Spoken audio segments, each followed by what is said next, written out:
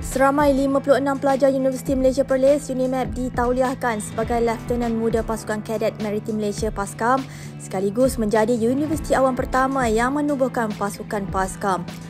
Bermula sebagai projek rintis pada September 2018, PASKAM UNIMAP dapat berbangga menjadi pelopor dalam melahirkan dan seterusnya menarik lebih ramai pelajar untuk menyertai PASKAM di universiti awam. Secara teorinya, PASKAM berperanan membentuk para pelajar menjadi individu yang berdisiplin dari aspek mental dan fizikal. Selain itu, pelibatan pelajar dapat memupuk semangat berpasukan yang tinggi bagi menyiapkan para pelajar menjadi pemimpin yang disegani pada masa hadapan. Sementara itu, upacara majlis tamat latihan dan pemakaian pangkat Lieutenant Muda Pasukan Kadet Maritim Malaysia UNIMAP di Dewan Masuri Akademi disempurnakan Laksmana Madya Datuk Hamid Haji Muhammad Amin Timbalan Ketua Pengarah Operasi Agensi Penguatkuasa Maritim Malaysia.